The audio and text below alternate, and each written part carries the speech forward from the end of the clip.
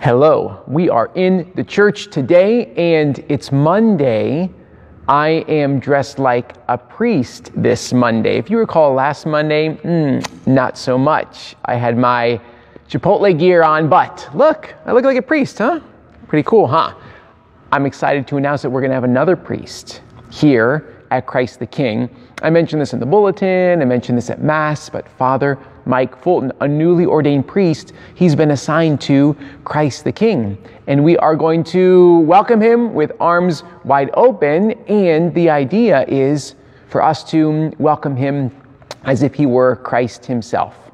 And it's part of our belief as Catholics, right? That priests, when they're ordained, they become other Christs. They become like a little icon of Jesus in the world. So, Father Mike with his unique personality and his unique gifts and shortcomings. Well, um, yeah, that's all part of his humanity, but in the midst of that humanity, he becomes a reflection of Jesus. Now, you know, when the priest most reflects the person of Jesus, it's actually when he is celebrating Mass. And Father Mike will celebrate Mass here at Christ the King, of course, on this altar right behind me. It's at that moment of the consecration where he takes the bread and he says, This is my body. And he takes the chalice and he says, This is my blood. He's speaking in, in the first person. It's like Jesus is speaking through him, in him, um, his person and Jesus' person, they are mystically, sacramentally united in that moment. So um, that's one of the reasons we have this image, this beautiful crucifix of Jesus in our sacristy. Maybe you've seen it, it's been shown in other videos, but here's Jesus on the cross, and what is he wearing? He's vested in, well, um, the, the garments of a priest.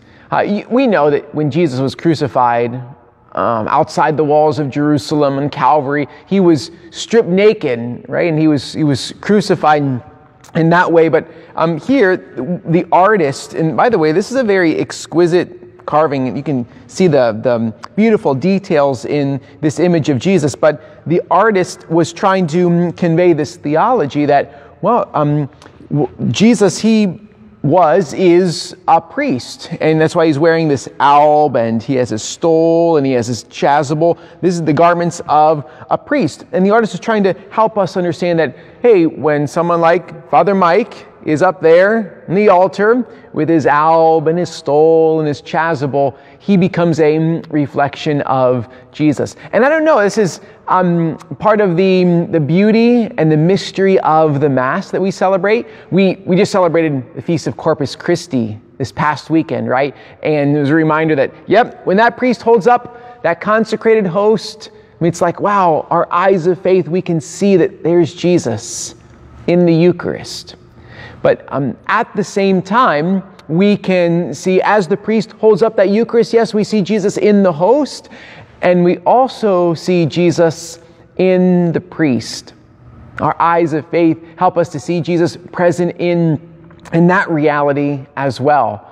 Um, so I, I, say all this uh, just to kind of ready our hearts for, um, for Father Mike when he comes. Uh, we're going to take care of him and we're going to love him and we are going to let him be Christ for us. Um, I know that uh, it's interesting you see Jesus, he's dressed as a priest on the cross, giving his life in service, laying down his life in love for his church. And Father Mike, uh, newly ordained priest, has so much energy and life and love to give us. How blessed we are. We're going to see him lay down his life in loving, joyful service here at Christ the King.